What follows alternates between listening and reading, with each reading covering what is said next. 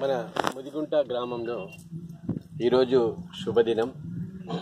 స్వామి గారు వచ్చేసి మరి మా పాఠశాల విద్యార్థుల యొక్క సాంస్కృతిక కార్యక్రమాలు యోగా విన్యాసాలన్నీ కూడా చూసి ఆశీర్వదించారు.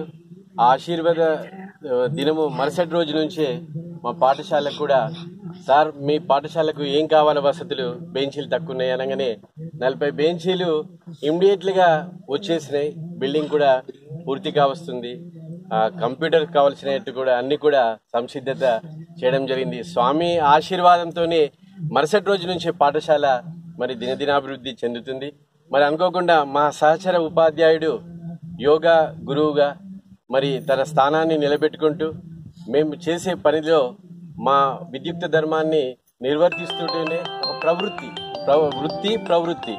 ఆ ప్రవృత్తి మన యోగా. అంటే మన పిల్లలకే కాదు ఈ గ్రామంలోని యువకులకు పెద్దలకు అందరు కూడా ఈరోజు వ్యసనాలకు గురి అవుతున్నారు మరి ఆరోగ్యం ఇంపార్టెంట్. ఆరోగ్యం మహాబలం. ఫిజికల్గా ఫిట్ ఉండాలా? మెంటల్గా కరెక్ట్ ఉండాలా?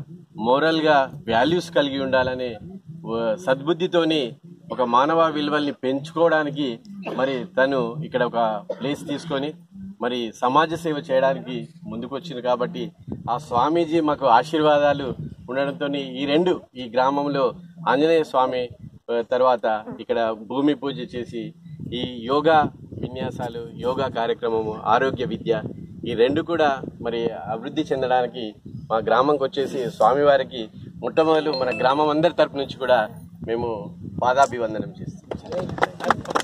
భూమిక భూమిక జ్యోతి.